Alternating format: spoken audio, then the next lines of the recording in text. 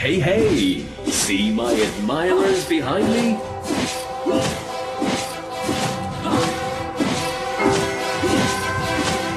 Solitude is my closest friend.